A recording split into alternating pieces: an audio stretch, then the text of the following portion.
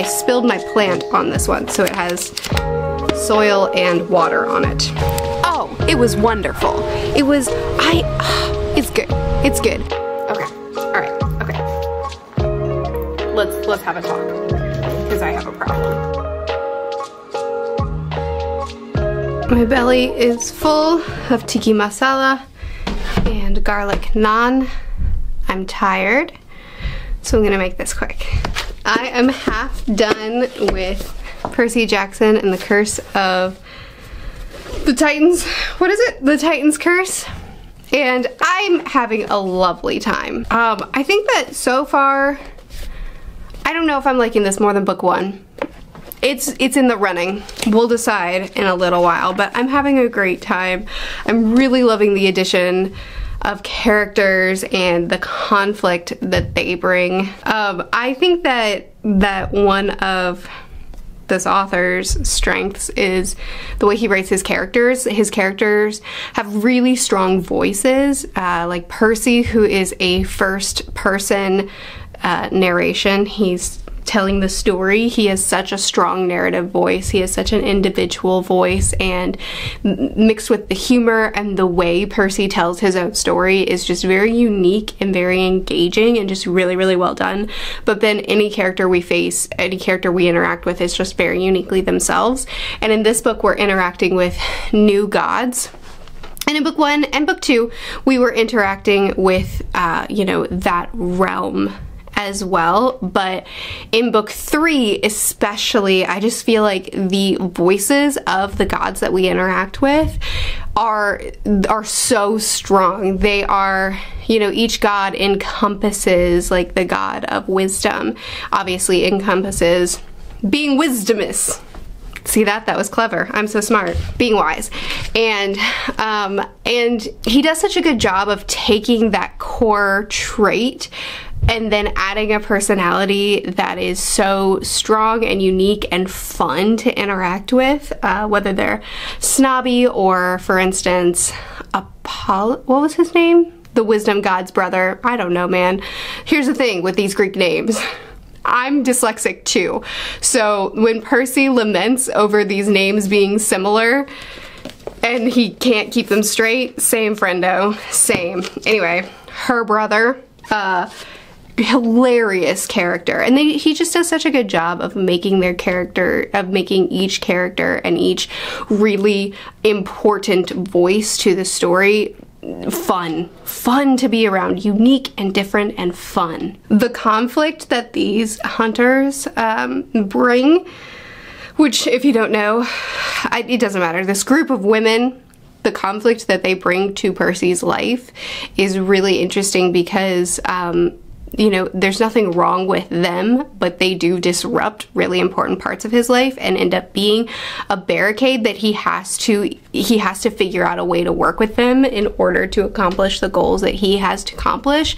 And I just love the way this all is sorted out. I just, I think, you know what? It's just really well written. It's just a really well written story. And while I am more into middle grade than I used to be, so I am enjoying all of this a lot more than I used to. And while there are other middle grades that I've picked up recently that grip me, that suit me and my taste a little bit better, I can say that I'm enjoying myself, but then also, even though there are other middle grades that suit my taste a little bit better than this does, I do think that this is one of the best quality middle grades that I've read yeah, probably ever. I'm actually, I'm very, very impressed with the skill of this story. So I'm having a great time. I guess we'll talk more thoughts. That was, that was pretty brief overall. That was pretty good. I'm happy with that. Uh, when I finish it, we'll talk some more. That's how these things work. So I'm very tired.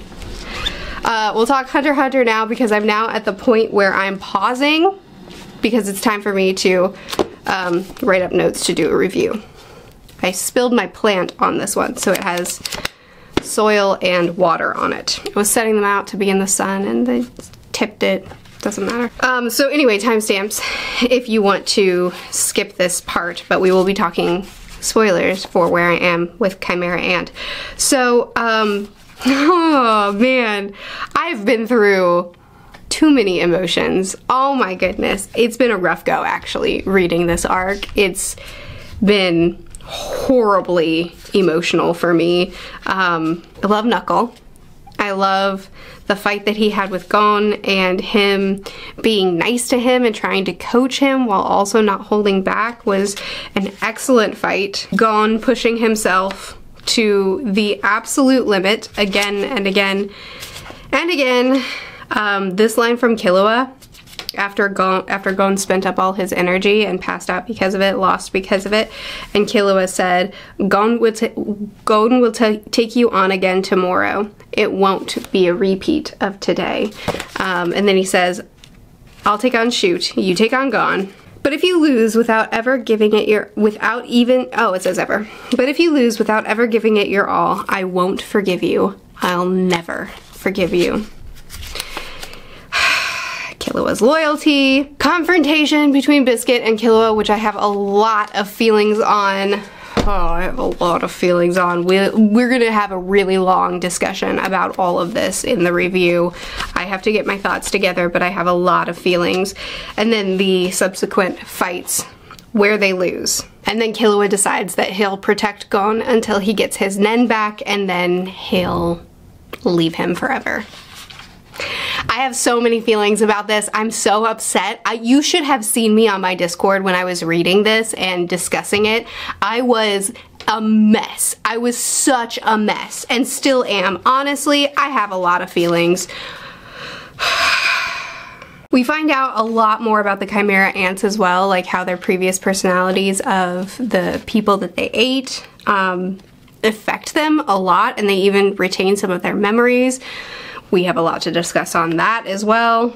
Uh, we got more of King, and he is an awesome antagonist. I haven't even spent that much time with him. I'm still real early on with him, but I'm digging what I'm seeing a lot. Um, Gon and uh, Palm date for a while, which I have feelings about. And then we get the infamous fight. I mean, I assume it's infamous. It was for me, that's for sure with Killua realizing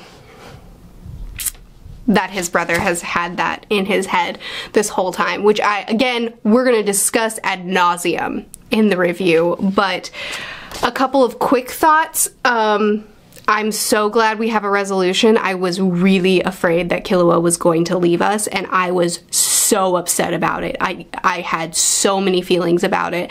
And I'm really happy about this because to me, him what Biscuit confronted him about and his reaction of actually having this flight instinct and thinking that his loyalty to Gon wasn't enough to override that felt so wrong to me because he's proven, I know he's proven that he will flee uh, an enemy that is stronger than him. He's proven that throughout the series, I know. But he's also proven over and over again that his loyalty to Gon, Gon, Gon is the most strong thing about him, is the overpowering thing. Totally makes sense that this is true because why did his family let him leave in the first place when we went and rescued him from his family and his family was just like, all right, go, leave, you'll be back. Why? Why would they do that?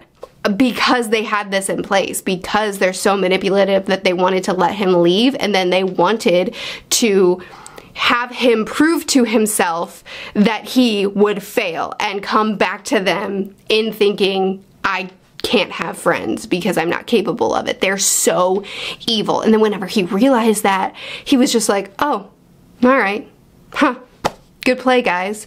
He's so used to them being so evil to him and manipulative and gaslighting and horrible that that's his reaction to that. Okay, I'm sorry.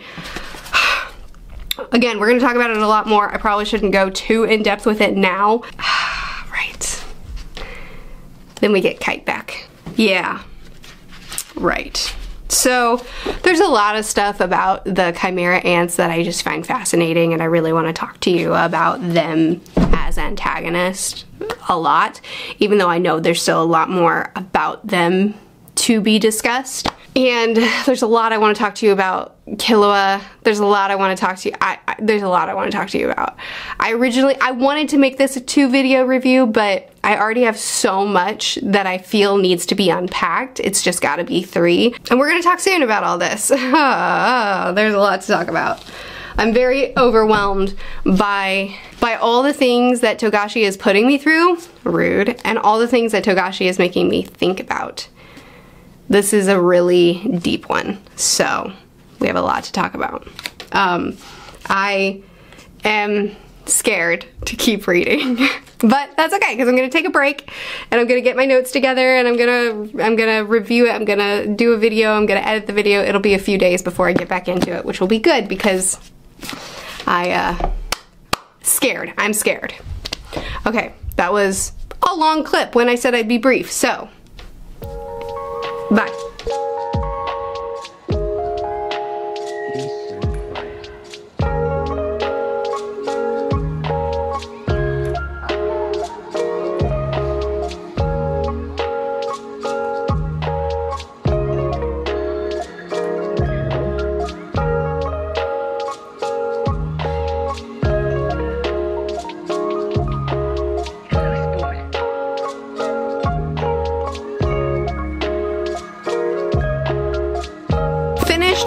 Three, started book four. For some reason, book four is the book that I remember the least of the four that I that I read. Anyway, so book three, oh, it was wonderful.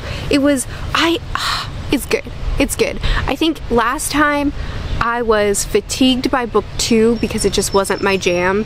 And then I went into book three, I decided to push through and it just tainted things for me. And I still enjoyed book three the first time around, but skipping book two this time and just going straight into three was the right choice because I was able to enjoy it so much. It's still formulaic, it's still episodic, and that's still not my thing, even though that's like a Greek myth thing, so it's not like there's anything wrong with it. It's just not what I like to read. But there's so many great character moments. I already talked about how amazing the character writing is in this, um, but also there's real sacrifices happening here. There's real heroic moments. There's real devastating scenes that we have to live through with our characters. There's real hard decisions that have to be made. And oh my goodness, it's just really, really good. Ah, wow. Um, I mean, like I said, there there is middle grade that suits me better. Like there's middle grade that I read that I'm like, oh my goodness, this is what I want to read. And Percy Jackson doesn't suit me perfectly, but I guess this time around I'm kind of removing myself from that a little bit more and just enjoying I mean, I am having a good time. I like this series, but I'm also just enjoying the craft of this series because I really think it's so well written. But anyway, I'm in book four now, and this I'm so excited about. Like I said, it's the one I remember the least for whatever reason, but I love a labyrinth. I love a Manator. Manator. I don't even know how to say it. You know what I'm talking about. The the mythological creature that typically guards labyrinth entrances. I love it.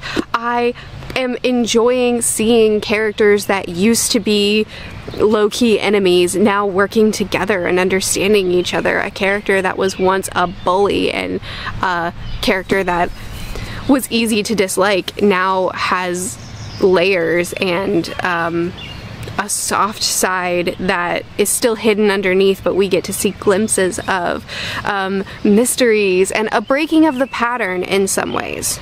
Um, you know the the the first three books are very similar in the setup and in a lot of ways and this labyrinth really breaks things up. There's still a prophecy there's still an oracle there's still uh, a hero that has to take on a, a dangerous adventure and pick people to go with them. It's still a cast of people that we know and are familiar with. So there's still some stuff that's just like every book does this thing, but with the labyrinth, there's something completely new and dangerous and exciting happening. And I don't know, I just love a good labyrinth plot. I just love it. I don't read it very often, and I'm so excited to be in this. I don't, did I finish book four?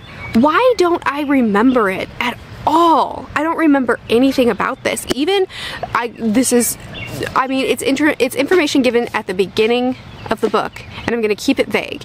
And I know it's book four, but I feel like it's fine for me to say this. It's heavily implied. We don't actually see the prophecy happen. It's just that the character that got the prophecy relays it to us, so we don't actually get to see it this time. And you can kind of surmise that some information is being held back, but it's heavily implied that the prophecy said that one of the people going into the labyrinth is going to die, and we've established in other books that stakes in the series are real. So.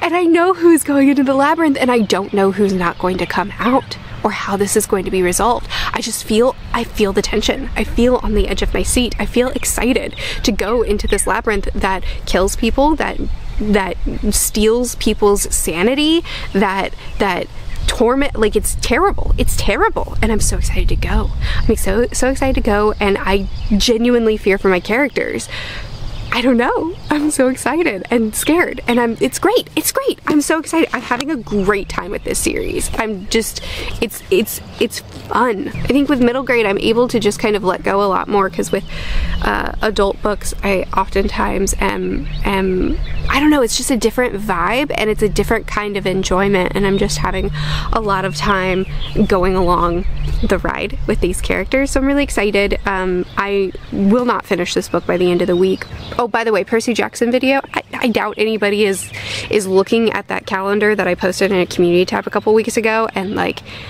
checking back on it. So I doubt anyone will notice if I'm rearranging my schedule at all, but Percy Jackson is not happening tomorrow, which is what I had on the schedule because I obviously haven't finished it yet and I'm not trying to rush to get a video out at a certain time. So it's being pushed back to next week and I'm rearranging some things.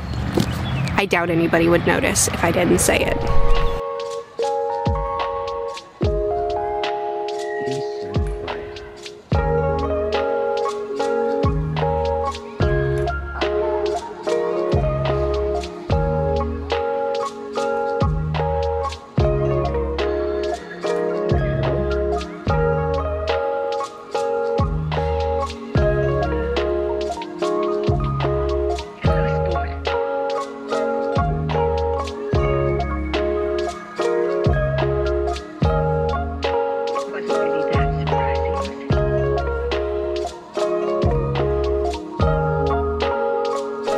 Couple of weeks, I've been in this really annoying reading mood where I just want to read everything, but I can't actually solely focus on anything. So I've been reading quite a few things in the background and just talking to you in the forefront of the vlog about the things that I'm reading the most actively.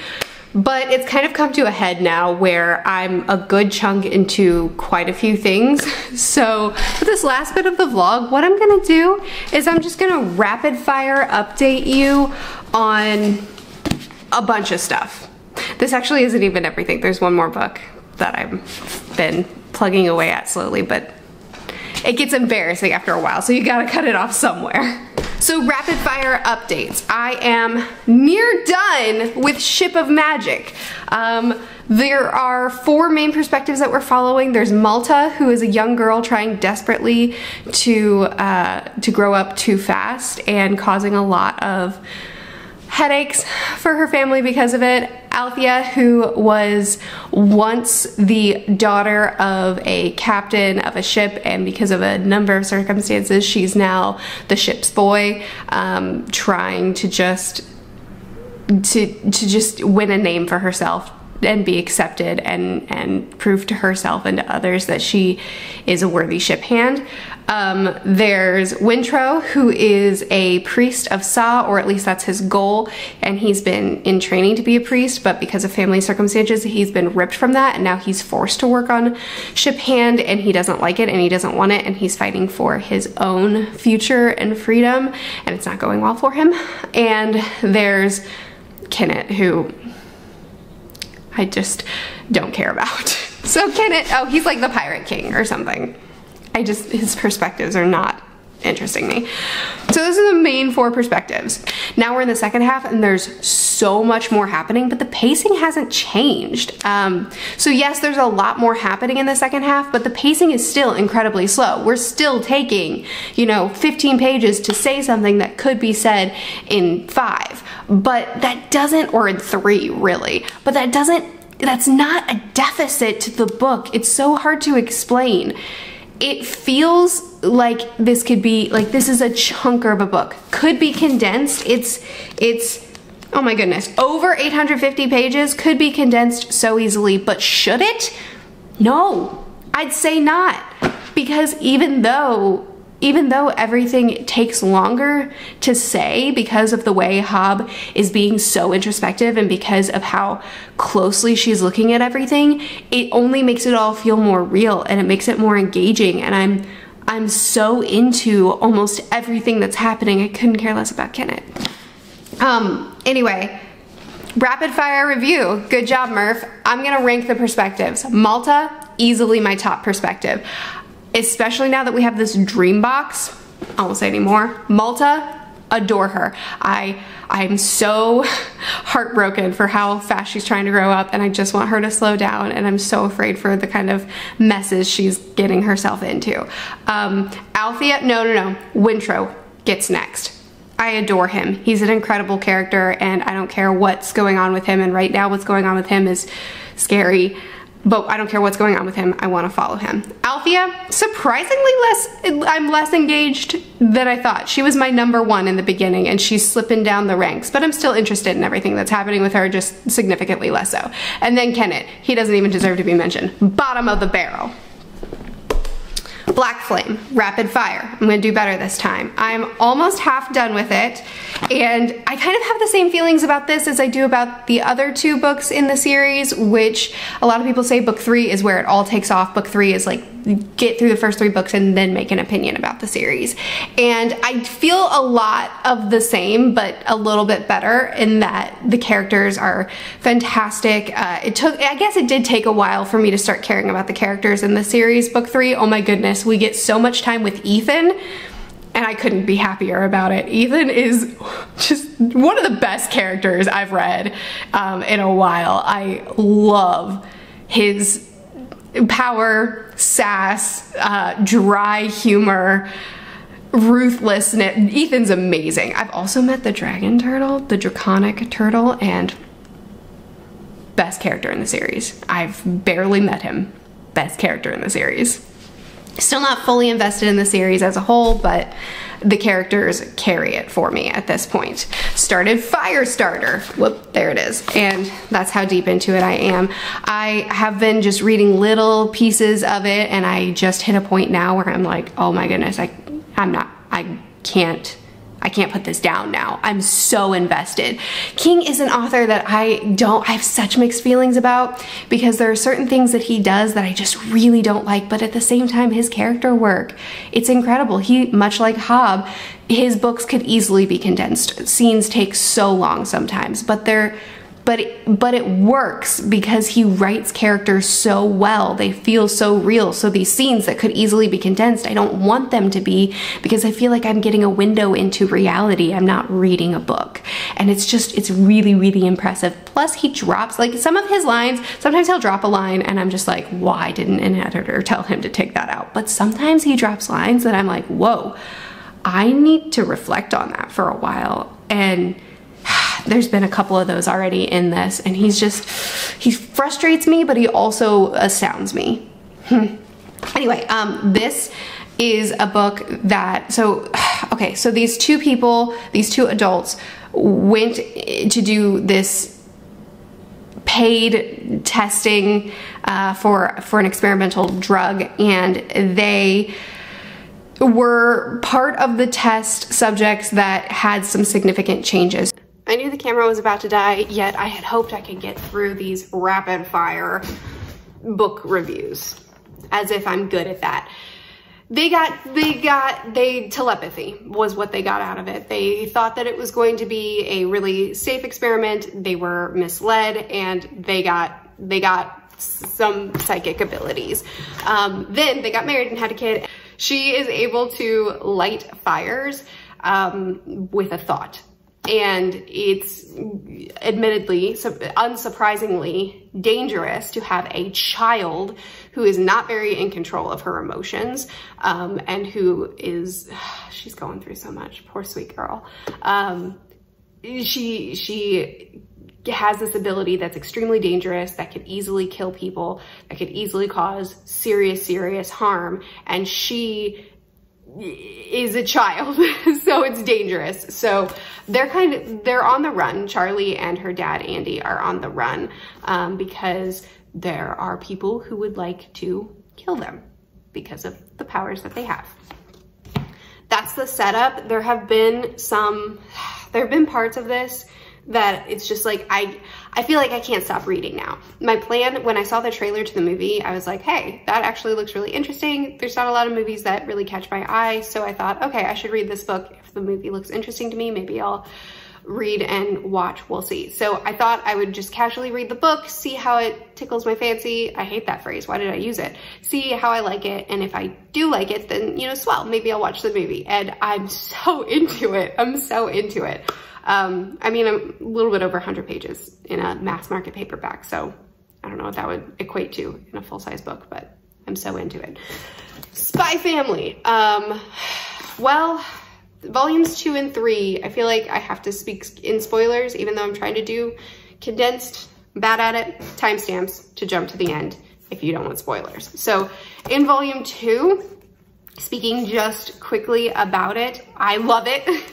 I love the humor. I don't get tired of it. I don't get tired of Anya and the way she reacts to people. I don't get tired of Yor's um, violent tendencies and all the miscommunications and the ways that Anya helps them. Oh my gosh, do you, oh my goodness, this one. it's just so perfect. It's just so perfect. Anyway, um, in volume two, we're introduced to Yor's brother, which is, uh, something. But I really, really like the, um, the added element of him being a member of the secret police and Twilight is someone that he knows about and would like to take down if he knew that Yor was married to him. Oh my goodness. Love that added element. In book three, was it book three that we got? I mean, volume three that we got the dodgeball game. I loved the dodgeball game. Actually, I think that was volume two as well. So in volume three, we got this, oh my golly, we got this adorable scene. It was part of the brother thing when he was like, well, if you're actually married, then why don't you kiss? And it's like, okay, sure. But I still loved the scene. I still loved it. Um, yeah, it's just, and then they hunt, they, they tracked her. Oh no, no, the, the dodgeball wasn't this one. No, it wasn't. That's when she saved a kid from drowning, which was also a really great scene. I'm enjoying everything about these uh, I, I don't know. I have it on the books to do a review for it. I don't really know. It'll probably be a quick one because the same jokes are kind of being recycled, but then just used in a different context. And frankly, I'm not mad about it. it's, I don't get tired of it. So I'm fine with it. And according to the way volume three ended, we're about to get a dog, which is gonna add all sorts of extra mayhem. So I'm having a great time. I don't know if it's worthy, uh, not worthy. I don't know if it needs a dedicated video. So if I do one, then it'll be pretty short, but um, I, I, I couldn't be having a better time with it. I mean, the number of things, this is stupid. I, next week I'm gonna focus up, okay? Next week I'm gonna focus up because look at this, look at the stack of things that I've talked to you about in this blog. How many of these things did I actually finish? Uh, the volumes of manga, I finished. But as far as books, I finished one. And all these others are currently ongoing. And I haven't even told you about the one other book that I have currently ongoing. Okay, all right, okay. Let's, let's have a talk because I have a problem. Here's what we're gonna do. I'm gonna focus up. Next week, I am finishing Ship of Magic. It, I'm near done. It's gonna happen. I will finish Percy Jackson because I'm I'm doing I'm having good pacing with that. And is it realistic to say I'm gonna? And I'm gonna focus on one of these and and at least make some good good progress. That seems fair. Okay, that's that's the plan for next week. It's gonna happen. This was a long check-in. Who's surprised? So here's the embarrassing number of things that I have been reading. Ta-da. But I'm gonna focus up and I'm gonna actually finish something. Sorry about my issues. Bye.